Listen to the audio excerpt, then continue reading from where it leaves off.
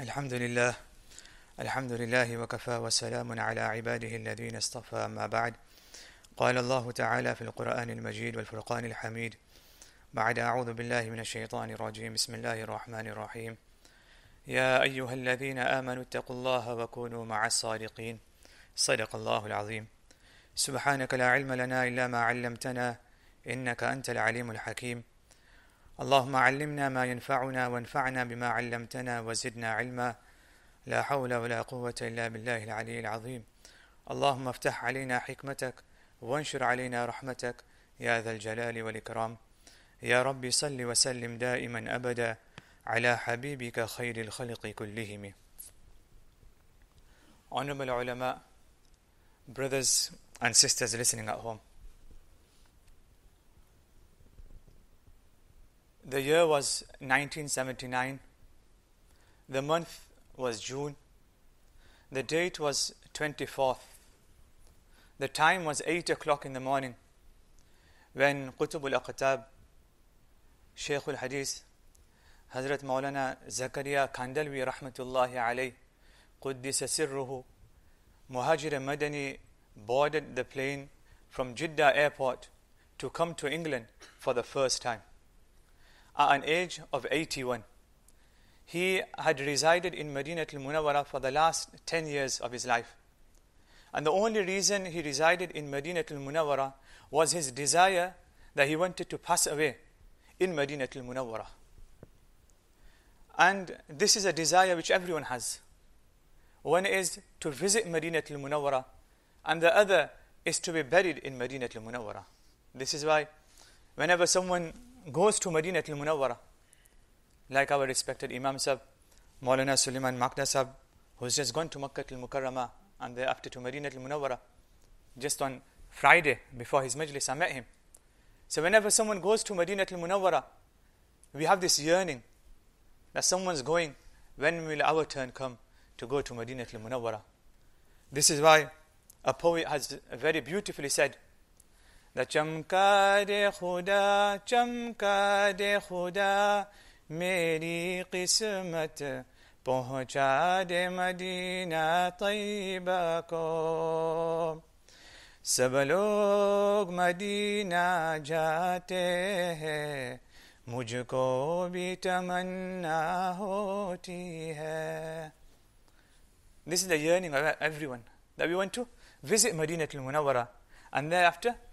be buried in Jannatul Baqi. Why? Because Nabi Kareem sallallahu alayhi wasallam said that on the day of judgment, when everyone will be resurrected, the first person to be resurrected will be Muhammad sallallahu alayhi wasallam. Thereafter Hazrat Abu Bakr radiallahu ta'ala an. Thereafter Hazrat Umar radiallahu ta'ala an. Then the people of Jannatul Baqi will be resurrected. In another hadith, Nabi Kareem sallallahu alayhi wasallam was once walking with Umm Qais radiallahu ta'ala anha. Our Prophet wasallam came near Jannat al-Baqi. Our Prophet wasallam said to Umm Qais, the Umm Qais, 70,000 people who will be buried in Jannat al-Baqi, on the day of judgment, they will be able to enter Jannah without any reckoning. Ukasha radiallahu ta'ala an, he was a brother of Umm Qais radiallahu ta'ala anha. Ukasha radiallahu ta'ala an asked Prophet sallallahu alayhi wasallam that, Ya Rasulullah, make dua that I am one of them. Prophet sallallahu alayhi wasallam said, oh, Ukasha, you are one of them as well. So it is a desire of everyone to be in Medina al-Munawwara. Why? Because of our love for Nabi Kareem sallallahu alayhi wasallam. You know, like Mufti Rizwan Sahib mentioned, that it's because of Nabi Kareem sallallahu alayhi wasallam that we love Medina al-Munawwara. Our Hafiz Yusuf mentioned in, in the Nizam of Qadam Hai Bilal Aj, that Hazrat Bilal radiallahu ta'ala had so much love for Medina al-Munawwara that upon passing away of Nabi Kareem sallallahu alayhi wasallam, the first Zuhr azan which Hazrat Bilal radiallahu ta'ala gave, he couldn't extend his azan after Ashhadu anna Muhammadar Rasulullah. Hazrat Abu Bakr radiallahu ta'ala had to complete that azan. Thereafter Hazrat Bilal radiallahu ta'ala after a couple of days approached Abu Bakr radiallahu ta'ala because Abu Bakr radiallahu ta'ala was the one who freed Bilal radiallahu ta'ala. And he said, Oh Abu Bakr radiallahu ta'ala if you freed me for your sake, then I will live in Madinah al-Munawwara. But if you freed me for the sake of Allah subhanahu wa ta'ala, I can't bear this A uh, disattachment from Nabi Karim sallallahu alayhi wasallam. Let me go in the path of Allah subhanahu wa ta'ala. And there he went to Syria. And one day he saw Nabi Karim sallallahu alayhi wasallam in his dream. That why are you not coming to visit us? And as he is coming into Madinah al-Munawwara, the thoughts which are going through the mind of Bilal radiallahu ta'ala an is what he mentioned. The qadam hai Bilal aj jalne sa'ari. And he's remembering the nasiha which Nabi Karim sallallahu alayhi wasallam gave to him. Some personal nasiha, the pare jo musibat, sabr to mutana. Some advice which Nabi Karim sallallahu alayhi wasallam gave at Hajjatul Wida. That lo, ye lo mera Quran, ye lo meri sunnah. And some nasiha which Nabi Karim sallallahu alayhi wasallam gave to the whole ummah. That tumhe pul sirat par milunga. So it is our desire to be in Madinat al-Munawwara. This is why it comes in the biography of Umar radiallahu ta'ala that he stayed as a as a Khalif for 10 years in his empire, two thirds of Byzantine Empire, the whole Sassanid Empire had collapsed. But he, he very little traveled outside Medina al Munawwara. Why? Scholars have mentioned because it was his desire to pass away in Medina al Munawwara. This is why if you open up Bukhari Sharif, you will come across the narration of Umar radiallahu ta'ala that he used to make dua to Allah subhanahu wa ta'ala that Allahumma rizukni shahadatan fi sabilik. Oh Allah subhanahu wa ta'ala, give me a death of shaheed وَجَعَلْ قَبْرِي فِي بَلَدِ رَسُولِكَ And make my final destination in Madinat al-Munawwara. So this is why Hazrat Shaykh Zakaria rahmatullahi alayh, he stayed in Madinat al-Munawwara for this desire. So scholars have mentioned that at uh, the age of 81, why did he then travel to England at that age? And scholars have mentioned because of two reasons. Number one, because he must have been inspired directly from Allah subhanahu wa ta'ala to make this journey. And the other reason, because of his love for Maulana Yusuf Mutala Sahib, rahmatullahi alayh. The connection which Hazrat Zakaria rahmatullahi alayh had with Maulana Yusuf Mutala Sahib. I'll just mention one, one incident. That when Bukhari Sharif, when uh, Sheikh Zakaria rahmatullahi alayh taught Bukhari Sharif for more than 44 years, his year was coming to an end because he had a problem in his eye. Sheikh Zakaria rahmatullahi alayh decided that I will no more teach Bukhari Sharif. But, but the next year, because of Mawlana Yusuf Mutala Sahib rahmatullahi alayhi being in Bukhari Sharif, Sheikh Zakaria rahmatullahi alayhi said, I will extend one year. So that Mawlana Yusuf Mutala Sahib, I can teach Mawlana Yusuf Mutala Sahib. This is how much connection Sheikh Zakaria rahmatullahi alayhi had. So he visited England in 1979. And he stayed for five days. And then he, he extended his visit for 12 days. And to this day, to this day, people have said and people have written that the, the ruhaniyat and the nuraniyat which was felt in Darul Ulum Bury at that time, we have never felt that ruhaniyat and that nuraniyat. When Sheikh Zakaria rahmatullahi alayhi was there and his majalis was happening from 4.15 in the morning till 11 in the evening. Thereafter, thereafter, many, many different places in the UK had requested Sheikh Zakaria rahmatullahi alayhi to visit them. Who wouldn't want Sheikh Zakaria rahmatullahi alayhi to come to their city? He is the one who's written Kanzul Mutawari, 24 volume on Bukhari Sharif. Al-Abwab uh, al-Tarajim, 6 volume just on the titles of Bukhari Sharif. Awjazul Masalik, 16 volume on the commentary of Mu'atta Imam Malik. In them days when there were no internet, could you imagine how many ahadith books he, he would have had to gone through to write 16 volume of Awjazul Masalik at the age of 29. So who wouldn't want Sheikh Zakaria rahmatullahi alayhi come to their town? But because of his illness, at the age of 89, 81, they had to reject so many places that he wouldn't be able to visit your place. But alhamdulillah, thumma alhamdulillah, Batley was fortunate enough that Sheikh Zakaria rahmatullahi alayhi in 1979 came to Batley. He had a bayan in Markaz. Before he went to Markaz, he visited Batley. And not only did he visit Batley, and this is the point which I want to make.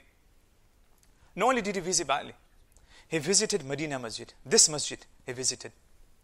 The inauguration of this masjid happened in 1989. So this masjid which we see as a purpose-built masjid, okay, was opened in 1989. Before this, masjid was built.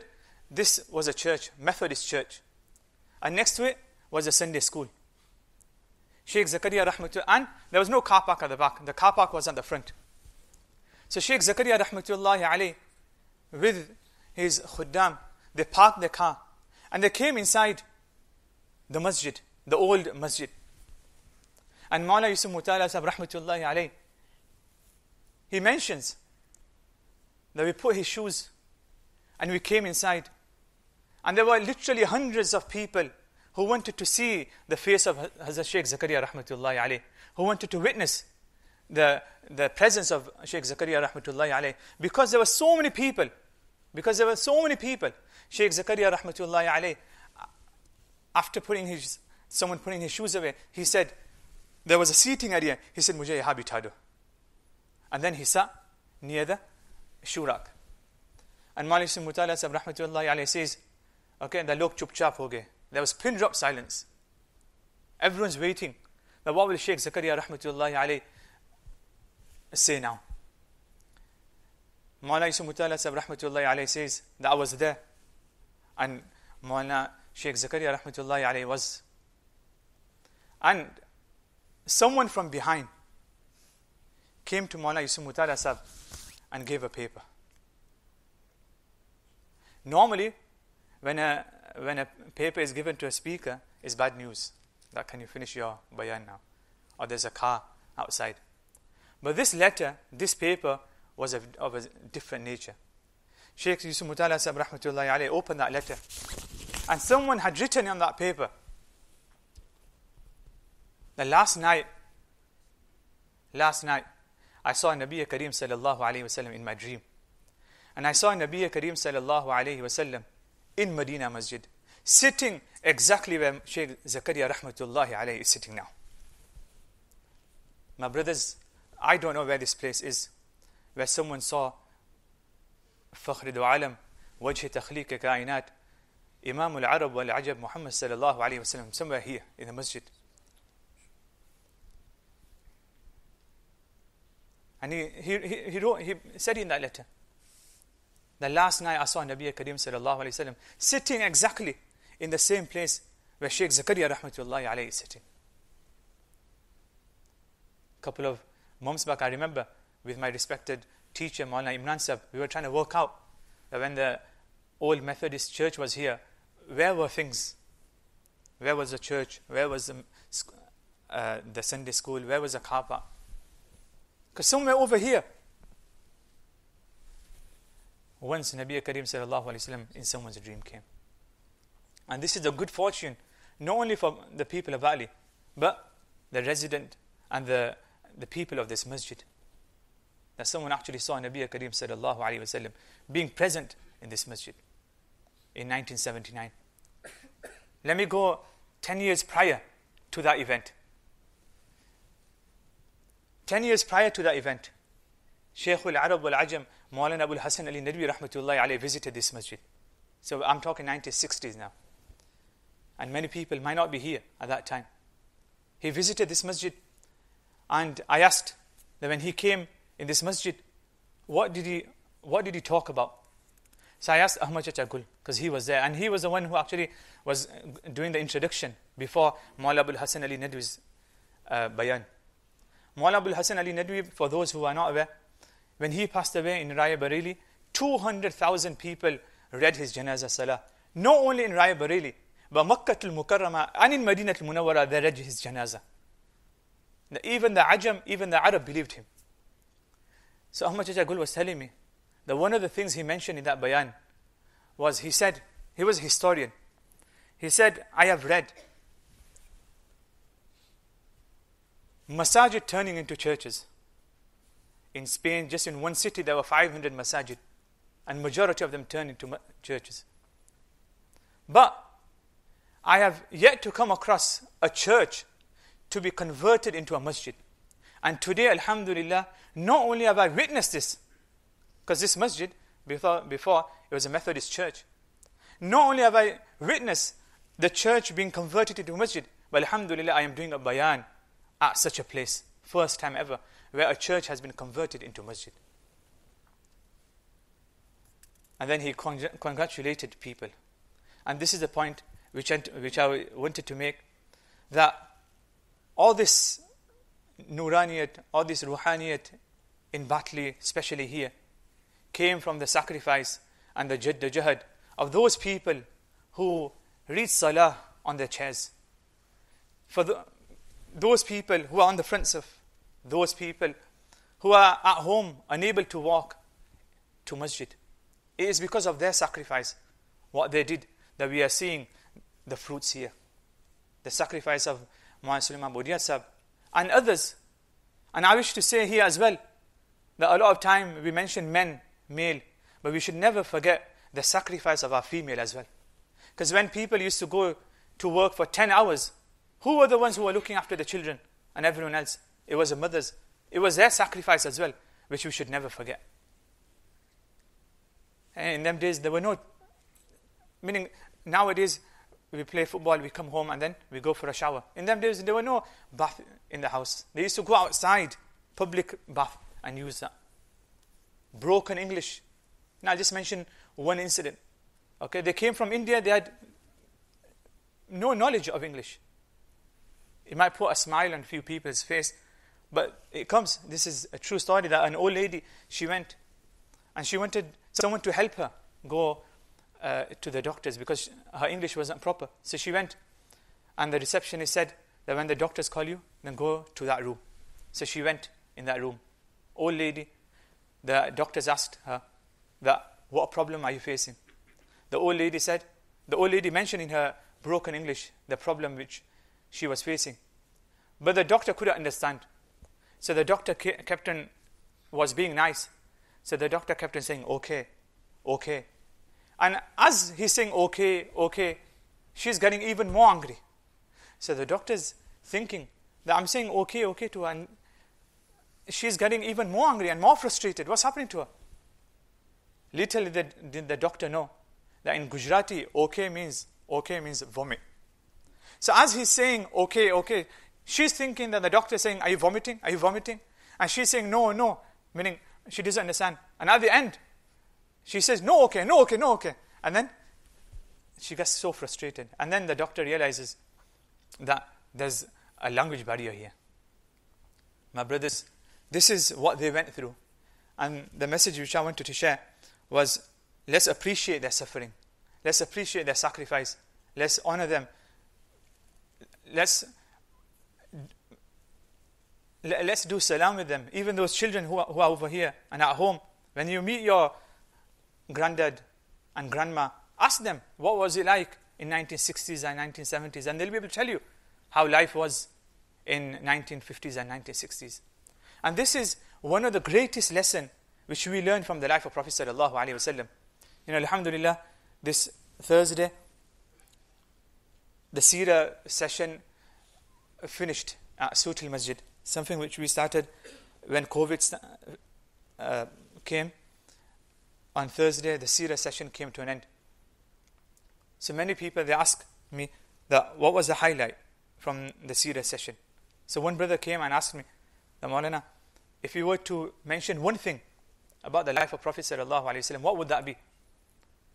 So I said to him, the one thing I realized from the life of Prophet ﷺ was he was a person, a Rasul, a Nabi, who was really appreciative. Whoever did any favors to him, he would really appreciate them.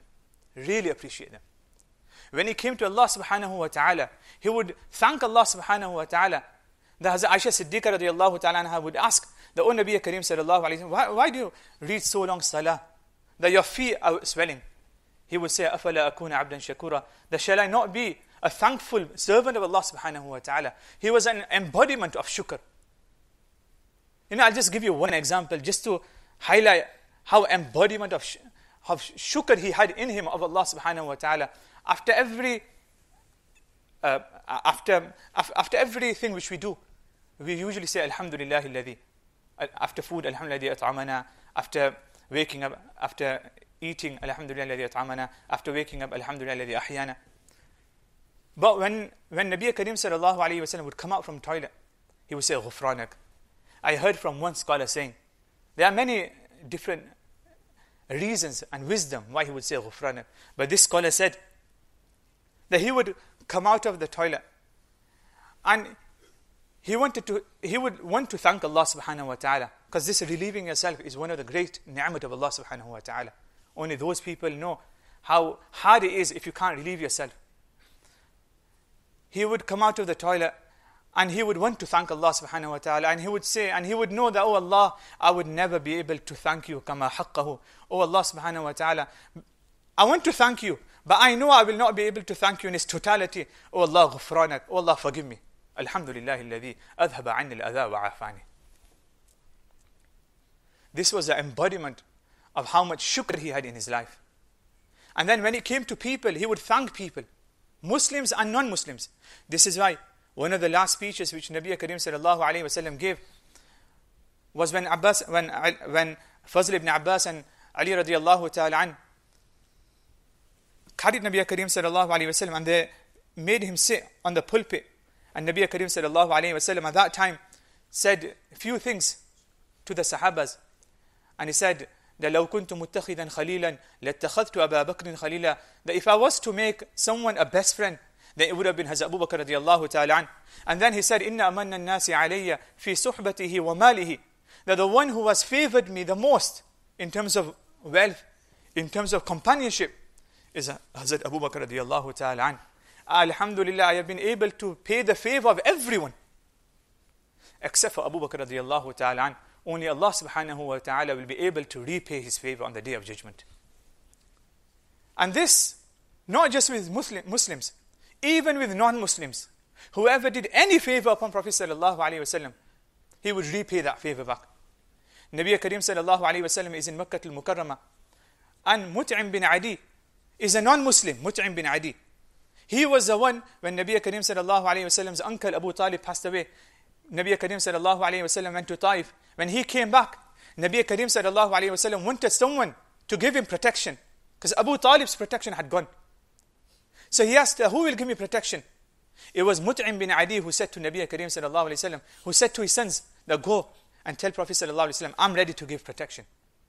Mut'im bin Adi was the one who used to f- smuggle food for Nabi Karim sallallahu alayhi wasallam when the boycott happened. But Mut'im bin Adi passed away as non-Muslim. Mut'im bin Adi passed away as non-Muslim. Nabi Karim sallallahu alayhi wasallam went to Medina al-Munawwara, he did hijrah. And there, the first battle of Badr happened. You know, Yawm al-Furqan. The Nabi Karim sallallahu alayhi wa sallam made dua to Allah subhanahu wa ta'ala that, oh Allah subhanahu wa ta'ala, if the Sahabas are to pass away today, then lam tu'bad, there will be no one to worship you. All night he made dua to Allah subhanahu wa ta'ala. And through the fazl of Allah subhanahu wa ta'ala, the Sahabas won. And not only one, they were able to capture 60 captives. 60 of those people who came to Medina al-Munawwara to injure, to kill the Sahabas and they are brought into Medina al-Munawwara. Regarding who Hazrat Umar radiallahu ta'ala anhu said to Prophet sallallahu alayhi wasallam, the oh, Prophet sallallahu alayhi wasallam, if you ask my mashwara, what should we do with them? I think we should kill them. These are the captives.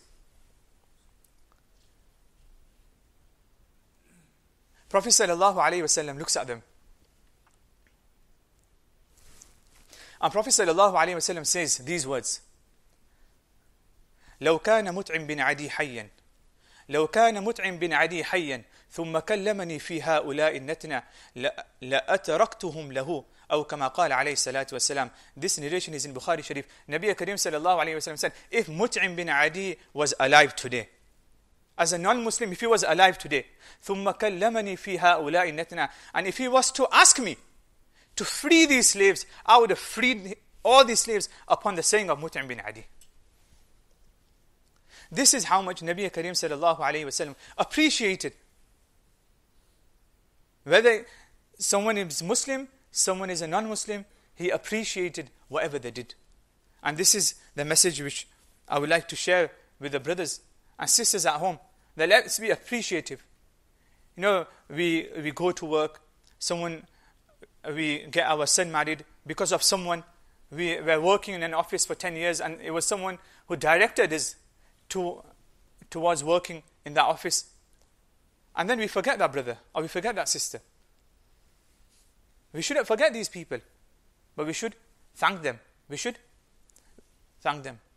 So this is why, Alhamdulillah, Rabita al-Ulama have, have uh, for the next couple of months, they'll be doing a tour in different masajid to share this message of being appreciative, of being in the company of ulama, so that we can learn from the life of Prophet sallallahu alaihi wasallam.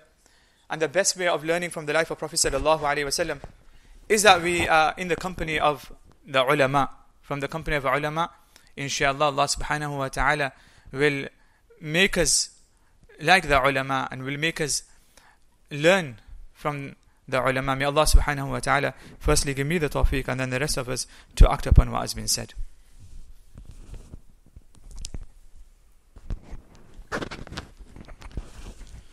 Jazakallah khairan. Allah subhanahu wa ta'ala grant us the tawfiq to act upon the words of Hazrat Maulana Abu Bakr Sahib. Now inshallah we'll be breaking into small groups for mini workshop for with different ulama.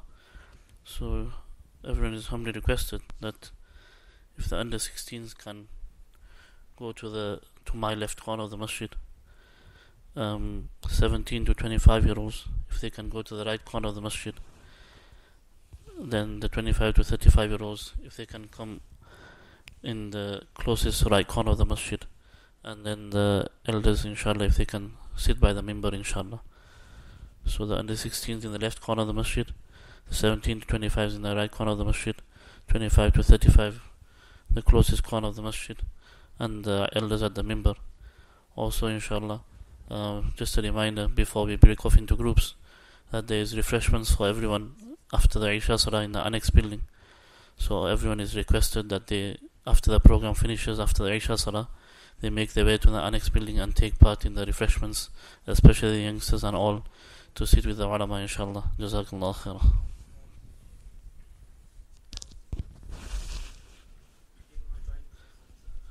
Thank you.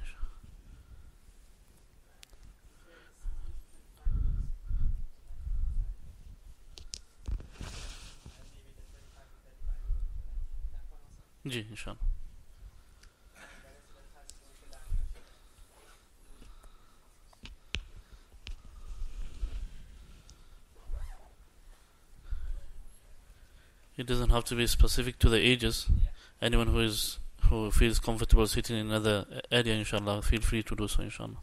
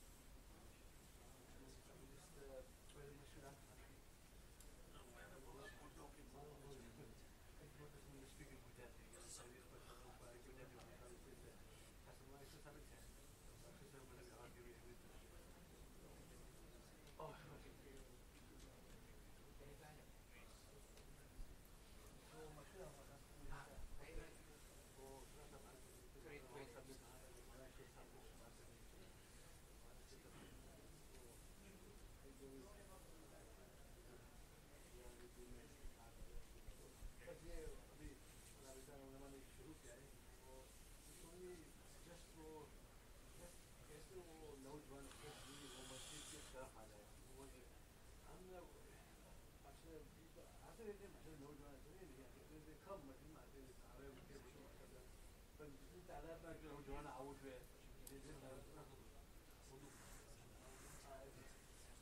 में वो आने चाहिए किसमें जो लोग में जो